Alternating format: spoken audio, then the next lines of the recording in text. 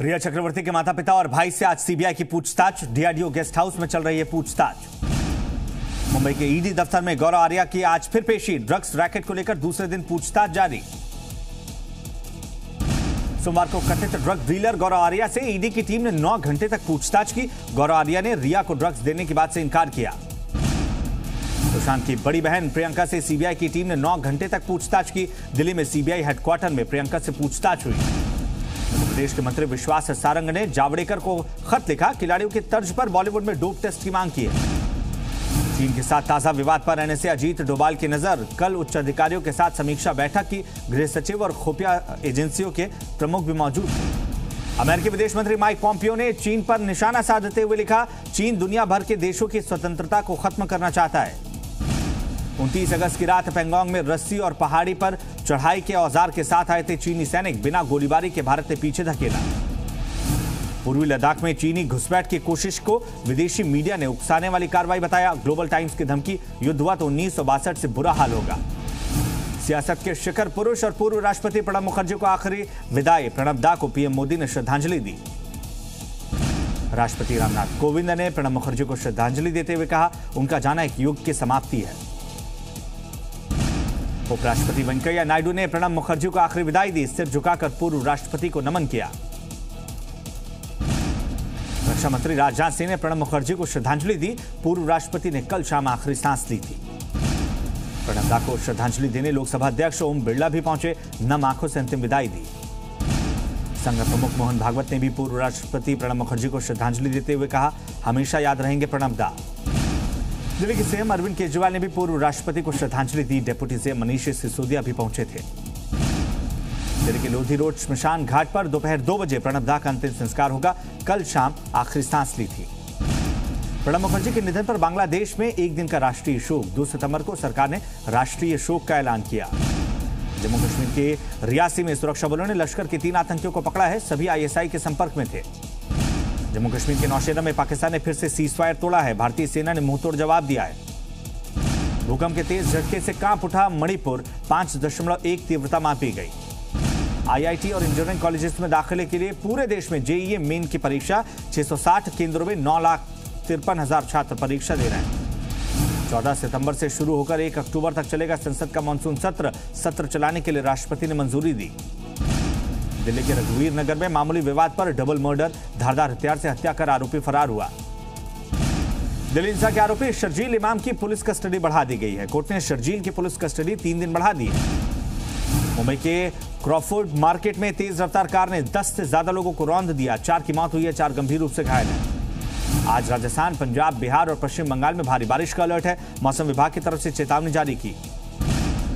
मध्य प्रदेश में बाढ़ और बारिश की वजह से नौ जिलों को काफ़ी नुकसान पहुँचा है। ग्यारह लोगों की अब तक जान जा चुकी है। मध्य प्रदेश के देवास ज़िले में बाढ़ से बर्बादी, नेशनल हाईवे उनसठ ए को दस दिन के लिए बंद करना पड़ा है। उत्तर प्रदेश के प्रयागराज में गंगा यमुना का पानी बढ़ चुका है, निचले इलाकों में पानी समा चुका है। गुजरात के वडोदरा ज़िले में भारी बारिश के बाद नर्मदा नदी उफान पर है। राजस्थान के धौलपुर में खतरे के निशान के ऊपर चंबल नदी। उनहत्तर गाँव में बाढ़ के हालात की आशंका। राजस्थान के बारह में जान जोखिम में डालकर पार्वती नदी पार करने के लिए लोग मजबूर हैं। ट्यूब के सहारे नदी पार कर रहे हैं छात्र। मध्य प्रदेश के रायसेन में हलाली डैम के ओवरफ्लो होने के बाद सेल्फी लेने लगी लोगों की होड़। पहाड़ों पर बारिश और भूस्खलन से लोगों की परेशानी बढ़ रही है। मसूरी दून मार्ग पर तीन दिन से रुक रुक कर बारिश और भूस्खलन। मथुरा में मकान की छत गिरी, मलबे में दबे महिला की मौत हुई है। तीन बच्चों की हालत गंभीर। देश में सैंतीस लाख के करीब पहुँची कोरोना संक्रमितों की संख्या। महाराष्ट्र में कोरोना बेकाबू हुआ 24 घंटे में ग्यारह नए मामले। महाराष्ट्र में कोरोना मरीजों का आंकड़ा पाँच लाख तिहत्तर हज़ार के पार पहुँच चुका है। मुंबई में 24 घंटे में एक हज़ार एक सौ उन्यासी कोरोना के मामले सामने आए हैं, कुल आंकड़ा एक लाख पैंतालीस हज़ार के पार। दिल्ली में 24 घंटे में एक हज़ार तीन सौ अट्ठावन कोरोना के नए मरीज़ 18 की मौत हुई। राजस्थान में 24 घंटे में एक हज़ार चार सौ छियासठ नए मामले सामने आए हैं, राज्य में कोरोना मरीजों का आंकड़ा इक्यासी हज़ार पश्चिम बंगाल में थम नहीं रहा है कोरोना का खैर 24 घंटे में कोरोना के दो हज़ार नौ सौ तिरानवे नए मामले सामने आए। तमिलनाडु में भी नहीं थम रहा है कोरोना का कहर। बीते 24 घंटे में पाँच नए मामले। कर्नाटक में भी 24 घंटे में छह हज़ार चार सौ पंचानवे नए मरीज़ सामने आए हैं। 113 की मौत हुई है। आगरा में एक सौ अड़सठ दिन की बंदी के बाद स्मारकों पर लगा ताला खुल चुका है। ताजमहल और आगरा किला को छोड़कर सभी स्मारक पर्यटकों के लिए खुल गए यूपी पीसीएल ने दिया बिजली की नई दरों का प्रस्ताव। नई दरों पर आयोग में सुनवाई 24 और 28 सितंबर को। उत्तराखंड में आज से काली पट्टी बांधकर काम पर लौटे हैं डॉक्टर, हर महीने एक दिन का वेतन काटने का विरोध। उत्तर प्रदेश के हरदोई में एक ही परिवार के तीन लोगों की ईंट पत्थरों से कुचलकर हत्या। गाजियाबाद में सरकारी नौकरी दिलाने के नाम पर ठगी करने वाले शख्स गिरफ़्तार, मंत्रालय में नौकरी दिलाने का झांसा दिया। उत्तर प्रदेश के गौतम बुद्ध नगर ज़िले में आईटी कंपनी में नौकरी दिलाने के नाम पर धोखाधड़ी, तीन गिरफ़्तार। प्रयागराज में कोविड अस्पताल में भर्ती मरीजों का हंगामा, खराब क्वालिटी के खाना परोसने से नाराज़ थे मरीज़।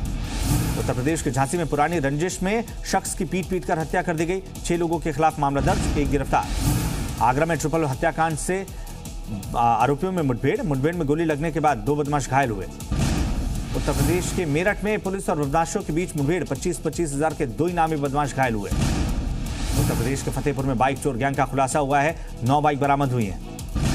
उत्तर प्रदेश के महाराजगंज में एक करोड़ की हीरोइन बरामद हुई है। एसएसपी ने संदिग्धों को गिरफ़्तार किया है। उत्तर प्रदेश के मऊ में बाहुबली विधायक मुख्तार अंसारी के गुर्गों पर प्रशासन की कार्रवाई, सात लाख रुपए की मुर्गी फार्म और स्कॉर्पियो गाड़ी जब्त। उत्तर प्रदेश के फतेहपुर में दो लड़कियों ने आपस में शादी कर ली है। सुरक्षा के लिए थाने पहुँची। नोएडा के कोटक इलाके में फर्जी मेडिकल स्टोर पर ड्रग विभाग का छापा। उत्तर प्रदेश के चित्रकूट में ट्रक और स्कूटी के बीच टक्कर हुई। हादसे के बाद स्कूटी में आग लग गई। दो लोग ज़िंदा चले उत्तर प्रदेश के अमरोहा में सड़क पर आया सांप। लोगों की भीड़ देखकर सड़क पर ही फुपकारने लगा। प्रदेश के सिवनी में सड़क हादसे में तीन मजदूरों की मौत, आठ घायल हुए। मध्य प्रदेश के श्योपुर में जिला खनिज अधिकारी प्रदीप खन्ना पर लोकायुक्त का शिकंजा। बर्खास्त आईएएस अरविंद और टीनू जोशी की बेनामी संपत्तियों की कुर्की के आदेश। मध्य प्रदेश के उज्जैन में महाकाल पुलिस को बड़ी सफलता, छह घंटे के अंदर चेन स्नैचिंग की घटना में आरोपी को गिरफ़्तार किया। बीजापुर में अगवा एएसआई की हत्या से हड़कंप, नक्सलियों ने कुटरू बीजापुर रूट पर केतुल नार के पास शव फेंक दिया था। कांकेर में बीजेपी के पूर्व जनपद अध्यक्ष के पिता की सरेरा हत्या, पूजा कार्यक्रम के दरमियान गाँव वालों के सामने गोली मार। दी पटना में महिला कांस्टेबल सहित दो कांस्टेबल ने खुद को गोली मारी। पटना में एनसीबी टीम को बड़ी कामयाबी 60 लाख रुपए की कीमत के 500 किलो गांजा के साथ पाँच तस्कर गिरफ़्तार। बिहार विधानसभा चुनाव 2020 के लिए लोग लोगो जारी हो चुका है सहज, सुगम और सुरक्षित रहने का नारा। डेप्यूटी सीएम सुशील मोदी ने आरजेडी और वाम दलों पर हमला बोलते हुए कहा आरजेडी ने चीन समर्थक कम्युनिस्टों का हाथ थामा है झारखंड में विधानसभा उपचुनाव को लेकर सियासत तेज। जेडीयू ने बीजेपी से एक सीट मांगी, दुमका और बिरमा के लिए उपचुनाव होने हैं। लालू यादव को बिरसा मुंडा जेल में शिफ्ट करने के लिए झारखंड हाईकोर्ट में याचिका। सवा लाख करोड़ के पैकेज पर बिहार में फिर शुरू हुई पॉलिटिक्स। केंद्रीय मंत्री गिरिराज सिंह का दावा, पीएम मोदी ने पूरा किया वादा। चंडीगढ़ में आसमान पर सब्जियों के दाम तकरीबन दुगनी कीमत पर बिक रही हैं सब्ज़ियाँ। पंजाब के जालंधर में एक बहादुर लड़की ने लुटेरों का मुकाबला किया। बाइक सवार दो लुटेरों से एक को धर दबोचा आज अनंत चतुर्दशी है। गणपति प्रतिमाओं के विसर्जन के साथ आज गणपति उत्सव संपन्न होगा। मुंबई में गणपति की प्रतिमा विसर्जित करने के लिए खास तैयारी। प्रसिद्ध माता वैष्णो देवी का प्रसाद अब ऑनलाइन मंगवाया जा सकता है।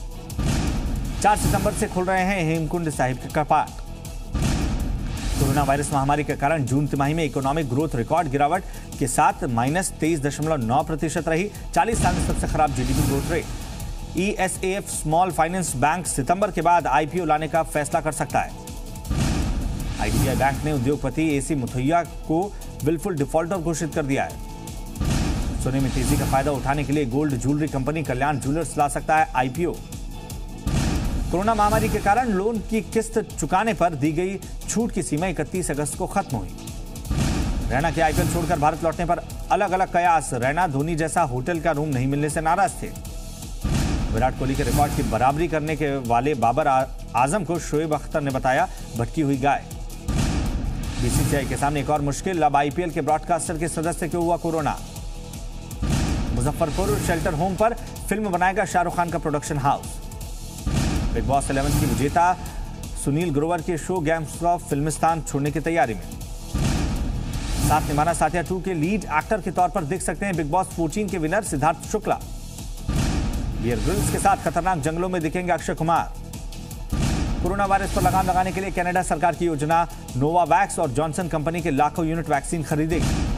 चीन के शॉर्ट वीडियो ऐप टिकटॉक को खरीदने की नई जोड़ी वॉलमार्ट और माइक्रोसॉफ्ट एक साथ सामने आए फ्रांस की राजधानी पेरिस में चार्ली हेब्दो पत्रिका पर हमले के पाँच साल के बाद केस का ट्रायल ये शख्स लोहे के ब्रिज के एक हिस्से से दूसरे हिस्से पर उछल कूद कर जाने की कोशिश करता है, बैलेंस बिगड़ता और हादसा हुआ। ये शख्स कार सवार को परेशान कर रहा था, लेकिन खुद हादसे का शिकार हो गया। ये जनाब गधे को स्कूल बैग की तरह अपने पीठ पर उठाना चाहते थे, लेकिन गधे को उठाते ही इनकी जान पर बनाई। जनाब कोल्ड ड्रिंक्स की केन को अपने सिर से फोड़कर हीरो बनने की कोशिश कर रहे थे, लेकिन खुद बेहोश होकर गिर पड़े।